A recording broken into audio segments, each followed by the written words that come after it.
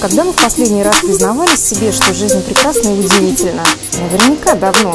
Порой мы так увлечены своими заботами и делами, что не можем остановиться, посмотреть вокруг и насладиться тем, что нас окружает. Меня зовут Жанна, у меня есть лучшая подруга.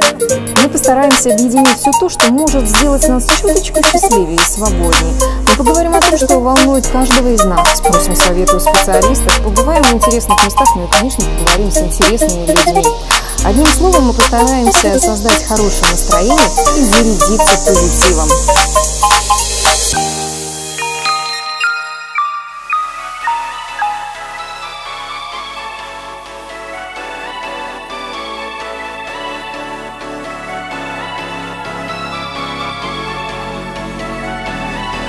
Спасибо. Ну вот, спасибо. Ну вот, моя дорогая, всю жизнь живешь в Твери. Я даже не знала, что в Мамулино 2 есть наша пекарня, где можно попробовать настоящие восточные сладости. Нет, не те, которые делают здесь на месте, а те, которые заказывают прям в Турции, прям с Стамбула сегодня, прям утренним самолетом привезли. Ты какой щербет будешь? Манго? Держи держи скорее.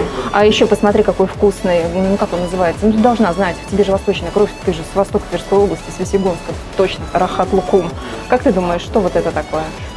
Ты не поверишь, но это тоже рахат лукум. Вот тот самый настоящий, да-да, восточный турецкий рахат лукум называется хасибаба. Здесь ты можешь заказать подарки на любое торжество, праздник или просто домой к чаю. Я уже не говорю о многообразии выпечки вкусняшек, знаешь, когда глаза разбегаются и слюнки текут. И сладости на любой вкус, даже если ты не очень любишь очень сладко. Вот так закроешь глаза, Стамбул, откроешь, ну, тоже ничего. Ну вот представь, живешь ты в Мамулино 2, в Брусилово, а у тебя под боком такая замечательная пекарня.